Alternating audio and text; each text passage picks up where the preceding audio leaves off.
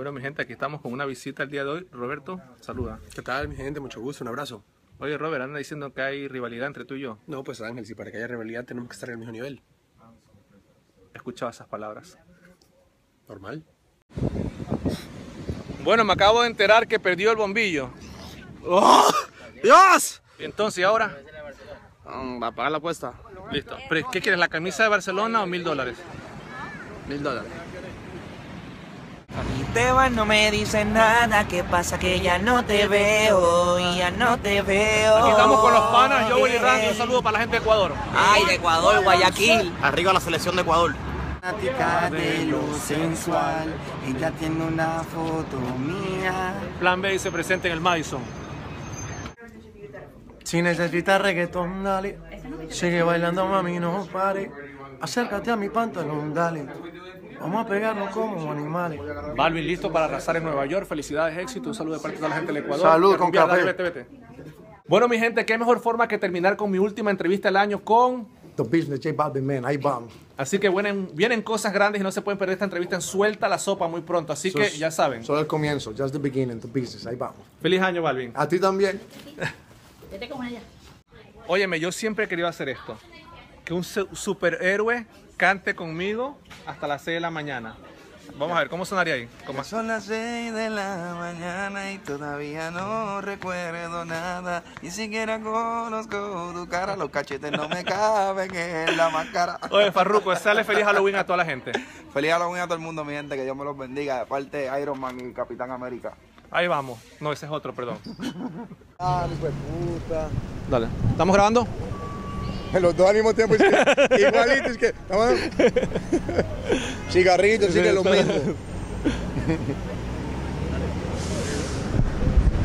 Bueno, Balvin, hermano, bienvenido a la Gran Manzana. Oye, me estás arrasando en Nueva York. Yo sé, oiga, Tengo que felicitarte porque estabas en uno de los periódicos más importantes de la Gran Manzana hace poco. ¿Cómo te sí, sientes que hoy en día J Balvin está en ese nivel?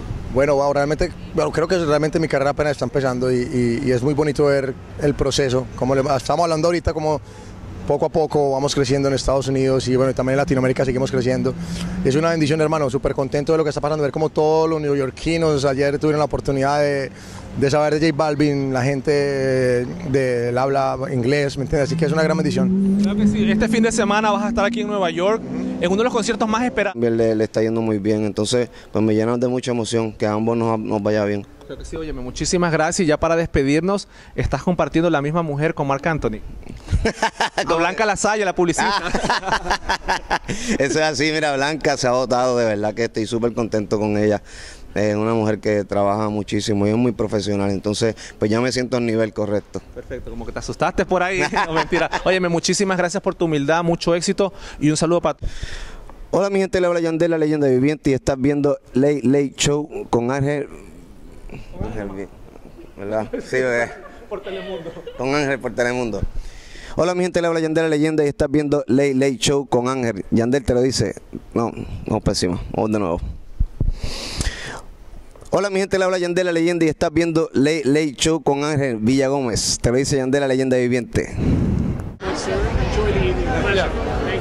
Here for Telemundo, how do you feel tonight supporting Yandel? Oh, and- man, I came out. You know, as soon as Winston Yandel is around, you know, beautiful Latino women are around, and you don't miss the opportunity to be there. You understand me? when this, does this friend became like bigger than what it is? Well, we, we've been friends for years now.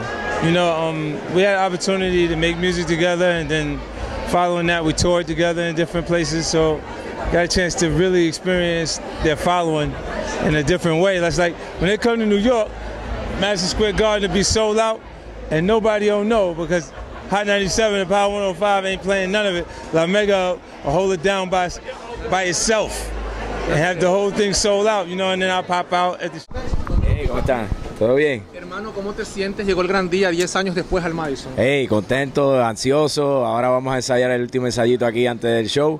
Bien contento, bien contento. ¿Qué sientes volverte a encontrar con el pueblo neoyorquino en, en la tarima del Madison? Mucha energía, mucha energía y, y listo para dar lo, lo mejor de mí esta noche. Vemos que invitaste a una ex participante del Team Yankee que vino a estar contigo el día de hoy aquí y acompañarte en este concierto. A todo el mundo, a toda mi gente del Team Yankee. Por ahí está Dani, también me dijo que iba a estar por ahí, todo el mundo. Así que un, un abrazo a todos. Dale, bendiciones, éxito. Bien, papá. Halloween, ¿a qué le teme Yandel? ¿A qué le temes? Bueno, adiós. Dios. Dios. Yandel, mi hermano, ¿cómo estamos? Óyeme. Un, un gusto verte como siempre. No, chico, Suelta la sopa, se invade el día de hoy aquí en tu camerino. Gracias, suelta la sopa. Gracias a ti que siempre estás pendiente de, de- de todo lo que hacemos. Así que súper contento de que estés aquí y, y poder hablarle un poquito más de, a la gente, al público. Antes que todo, cuéntanos cómo es el camerino. Vemos que pide sushi, ¿qué es esto? ¿Frijoles? Pido sushi, ah, me gusta mucho el sushi, me gusta mucho la fruta, pedir algo liviano, tú sabes, porque uno va, va a cantar, entonces para no estar pesado, estar livianito y, y con barriga llena. Claro que sí. ¿Meditas? eh, ¿Algún tipo de ritual? ¿Qué haces aparte a- antes de ir a cantar? Pues siempre yo hago una oración y, y le, le pido a papá Dios que, que me cuide en el show y que si pasa algo, pues que él tome el control y, y para encima. Claro que sí. Oye, hablando de control, has tomado un control en tu carrera que de verdad que las personas, y me incluyo yo entre los fanáticos, te admiramos muchísimo. Empresario, video, música. Cuéntanos qué está pasando ahora en la carrera. Mira, estoy súper contento, yo creo que... Bueno, mi gente, John Z y Baby Rasta juntos aquí en la ciudad de Nueva York platicándonos sobre este nuevo éxito musical. Arranquemos con eso, chicos. Háblenos sobre esta fusión, cómo llegan a cantar juntos. Bueno, este, primero que nada empezó con cero sentimientos. Después de ahí, con el éxito que tuvimos, el público pues se quedó como que ese junte nos gustó, sacamos Nunca Me Amó. Después de ahí, pues como tuvimos el, el mismo impacto, creo que un poquito más, pues decidimos sacar un disco para el público. Yo tengo entendido por ahí que Doriel fue como que el cupido de ustedes musical, por decirlo de cierta forma, eh, que los unió y hasta te sorprendieron en el estudio. ¿Cómo, cómo fue ese encuentro ahí? Sí, eso fue algo bien bonito y bien especial ese momento, ¿me entiendes? Porque Rasta ya había escuchado la canción y le había gustado, ¿me entiendes? Y le llegó a la canción sola, ¿me entiendes? Todo como que conspiró el universo, el destino.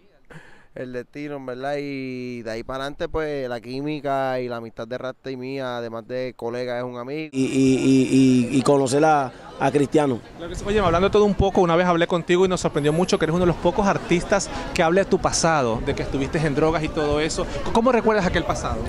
Ah, no, nada, yo no me acuerdo porque estaba exactamente en esos caminos malos, entonces para mí fue como una nube muy grande, un vacío muy grande en mi vida, pero ya, ya papá Dios me quitó de todo eso, llevamos cuatro años firmes y haciendo las cosas bien, este, yo veo eso como, como una etapa donde yo pienso que que un ejemplo para la juventud es una persona que pasó un momento oscuro en su vida, salió hacia adelante y, y echó para adelante. Porque es que, ¿qué, qué ejemplo va a ser una persona que nunca ha hecho algo malo?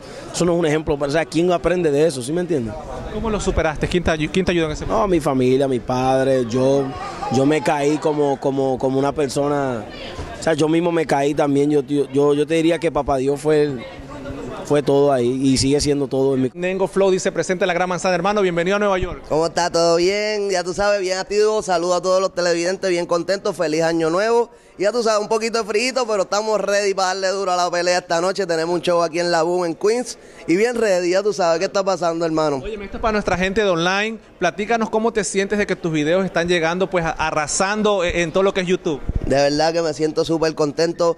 Todos los días me levanto con emociones diferentes porque yo digo, contra, tanto que nos chavamos desde abajo, tanto que le dimos duro, tanto que lloramos, tanto que sufrimos, pero valió la pena porque hoy en día el Real G4 Life es un movimiento mundial que es más grande que hasta el mismo nombre de Ñengo Flow porque es un movimiento que la gente se identifica y de verdad súper contento con todo lo que está pasando porque hoy en día me doy cuenta que todo lo que hicimos y todo ese sufrimiento no fue en vano. Ahora mismo estamos viendo los frutos gracias a Dios y ya tú sabes, Real G4 Life y aparte de todo lo hicimos en la calle y en el internet. Claro que sí. Háblanos, gente de tu ritmo. Estamos aquí con Kevin, hermano. Bienvenido a Nueva York. Platícame cómo te sientes esta noche a punto de cantar ya la Gran Manzana. Bueno, no, bien contento, eh, listos para romper acá en Nueva York. eh, ya la segunda vez que venimos a hacer conciertos y estoy muy agradecido con el apoyo de la gente. Ahorita estamos en, en, en Manhattan, Times Square y, y la gente pidiéndome fotos, la gente súper bien conmigo, así que le agradezco a toda mi gente de New York. ¿Qué, se siente el, hacer un trabajo bien hecho y que la gente empiece a reconocerte fuera de tu tierra, fuera de tu natal Colombia? ¿Cómo sientes eso? Bueno, ya es un año de trabajo, pero yo siento que lo hemos hecho súper bien. Eh, no, bien contento cada vez que, que- visitamos un país diferente. Eh, yo soy muy nuevo, soy un artista muy nuevo y ya hemos visitado muchos países y siempre llegar la acogida y que ya los temas se los saben. Entonces es una bendición de Dios y me siento muy contento, me da muchas ganas para, para seguir, seguir eh, luchando todos los días por esto, con disciplina. Pues yo tengo 21 años, entonces para darle pa. Mira, ¿Quién llegó? ¿Quién llegó? ¿Quién llegó? ¿Quién llegó? Hermano, qué gustazo verte lloviendo. Mira, estamos como pollitos, pero esperando. Gracias por estar aquí. Me siento contento de estar aquí en Nueva York, compartiendo con tanta gente buena, con boricuas dominicanos, con latinos, que de una forma o de otra por, durante 15 años han patrocinado lo que hago, así que me siento feliz. Háblanos sobre este disco, ¿en qué se diferencia lo que está haciendo Wisin ahora como solista lo que hemos escuchado antes en el dúo? Bueno, Wisin está cantando. Wisin está cantando, está interpretando temas, cantando boleros junto a Franco De Vita, cantando hip hop junto a 50 Cent, eh, cantando junto a Sean Paul en dancehall. Así que yo creo que es un disco bien refrescante, sobre todo con grandes invitados y grandes estrellas que son parte de este disco. J-Lo, Ricky y Wisin, tres estrellas de la música, tres boricuas juntos. ¿Cómo es a la hora de trabajar tres grandes de la música? Ah, ha hecho una experiencia mágica, maravillosa. El que ellos me den la oportunidad, ¿verdad?, de que sea en mi disco y de que este tema lo, lo, lo traímos a la mesa nosotros, tanto Gocho, un gran amigo, como Chris Jeda y mi productor. Así que me siento feliz porque son parte de la historia y sobre todo me están dando la oportunidad de presentarle al mundo lo que sé hacer, lo que podemos hacer en el estudio. Así que es grande. Siempre